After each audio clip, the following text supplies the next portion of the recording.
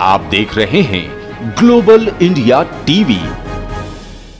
अंतर्राष्ट्रीय red cross दिवस के अवसर पर जिला रेड क्रॉस सोसाइटी ने बड़वानी जिला मुख्यालय पर आशा ग्राम स्थित अस्पताल में रक्तदान शिविर का आयोजन किया, जिसमें बड़ी संख्या में लोग शामिल हुए।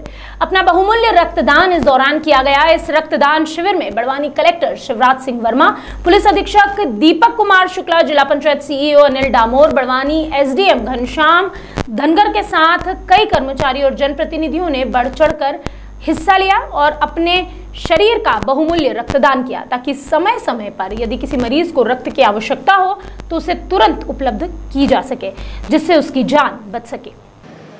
आज अंतर्राष्ट्रीय रेड क्रॉस दिवस तथा मदर्स डे के उपलक्ष्य में बड़वानी ज़िले के सिकल सेल एनीमिया मरीजों की सहायता हेतु आशाग्राम के डीडीआरसी भवन में बड़ी संख्या में रक्तदान शिविर का आयोजन किया गया है। बड़ी खुशी की बात है कि आज मेरे साथी हमारे एसपी साहब सीओ जिला पंचायत, हमारे एडीएम एसडीएम सीएमओ महिला बाल विकास अधिकारी, सहायक संचालक महिला बाल विकास सहित अनेक अधिकारी कर्मचारियों द्वारा यहाँ पर रक्तदान की शुभारंभ की शुरुआत की है। मेरी अब सभी से अपेक्षा है, सभी जिलेवासियों से कि यहाँ पर जो सिकल सेल की बीमारी है, इससे बचाव के लिए रक्तदान अवश्य करें।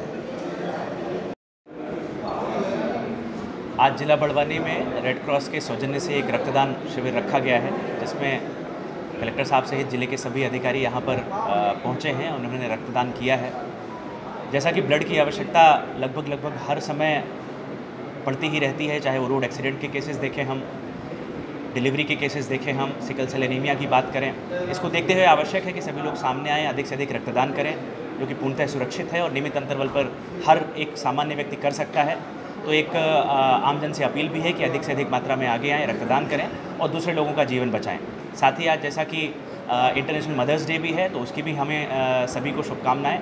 और साथ ही जैसा मैंने कहा कि डिलीवरी केसेस और ऐसे जो हमारे हॉस्पिटलाइजेशन के केसेस होते हैं, उसमें भी आवश्यकता पड़ती है। तो हम सबका एक प्रयास है कि उसकी तरफ़ भी एक योगदान दिया जाए।